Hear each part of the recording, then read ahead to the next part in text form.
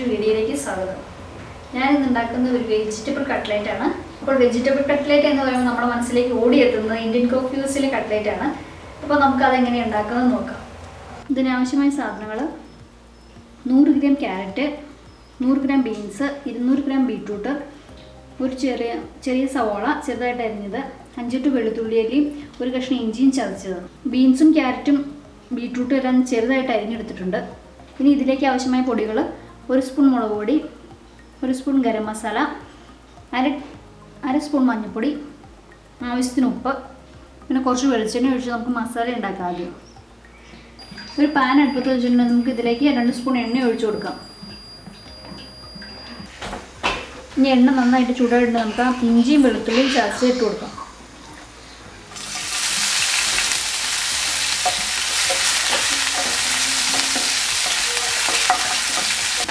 മൂത്ത് വരുമ്പോൾ നമുക്ക് സവാള ചേർക്കാം.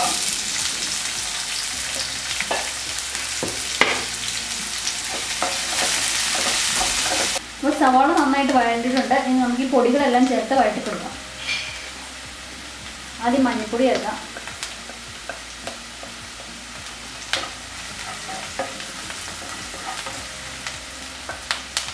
മുളക് പൊടി.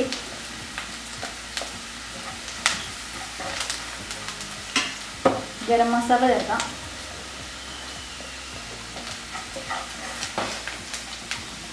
ഇനി നമുക്ക് ഈ ക്യാരറ്റും ബീൻസും ബീട്രൂട്ടും എല്ലാം ചേർത്ത് നന്നായിട്ട് വഴറ്റിയെടുക്കാം. വഴറ്റി ഇതൊന്ന് വെന്ത് കിട്ടുന്നവരെ ഒരു പത്ത് മിനിറ്റ് വരെ വേവിച്ചെടുക്കണം.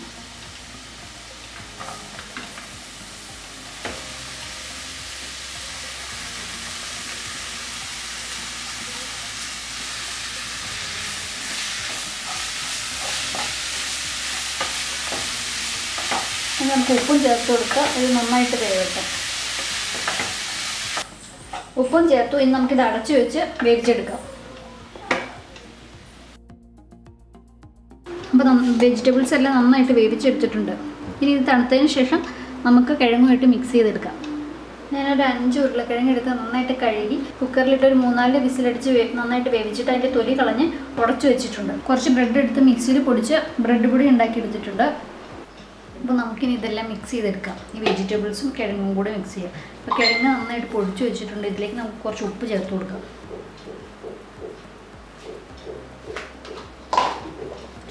വെജിറ്റബിൾസ് വേവിച്ചപ്പോൾ ഞാൻ അതിനകത്ത് ഉപ്പ് ചേർത്തായിരുന്നു. ഇപ്പോൾ കിഴങ്ങിന് ആവശ്യമുള്ള ഉപ്പും കൂടെ ചേർത്തിട്ടുണ്ട്.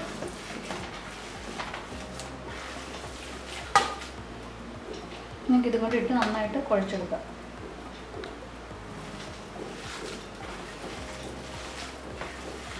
അപ്പം നന്നായിട്ട് ഞാൻ കുഴച്ചെടുത്തിട്ടുണ്ട്. നമുക്ക് ഇത് ബോളുകളാക്കി എടുക്കാം.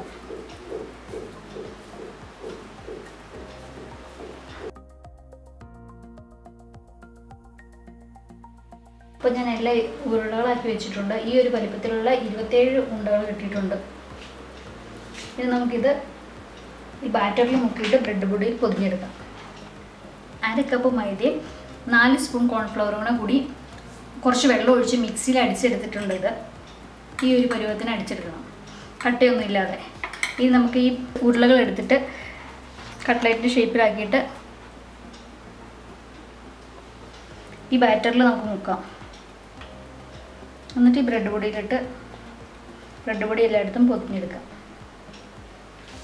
അപ്പോൾ അതെ ഇങ്ങനെ എടുത്തിട്ടുണ്ടെങ്കിൽ നമുക്ക് എല്ലാം ഇതേപോലെ മുക്കിയെടുക്കാം.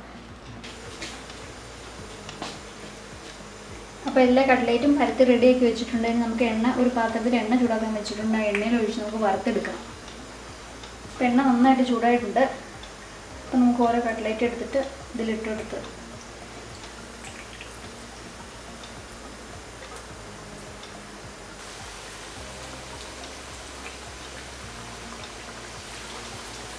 അപ്പോൾ ഒരു സൈഡ് നല്ല ബ്രൗൺ കളറായിട്ടുണ്ടെങ്കിൽ നമുക്കിത് മറച്ചിടാം.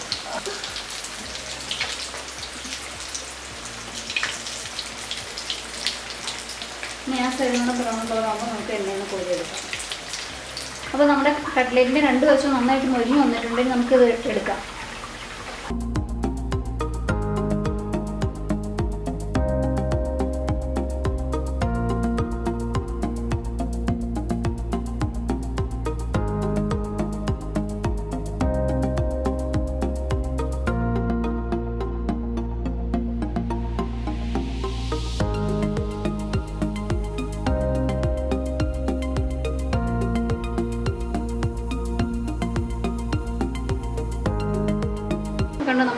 ഇന്ത്യൻ കോഫി ഹൗസിലുള്ള കട്ട്ലേറ്റിനെ പോലെ നല്ല റെഡ് കളറുള്ള കട്ട്ലേറ്റ് കിട്ടിയിട്ടുണ്ട് നമുക്ക്. നല്ല അടിപൊളി കട്ട്ലേറ്റ് എല്ലാവരും ഒന്ന് ഉണ്ടാക്കി നോക്കുക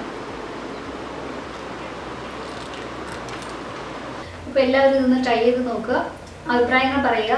ചിക്കൻ കട്ട്ലേറ്റിന്റെ റെസിപ്പി ഞാൻ ഡിസ്ക്രിപ്ഷൻ ബോക്സിൽ ഇടാം.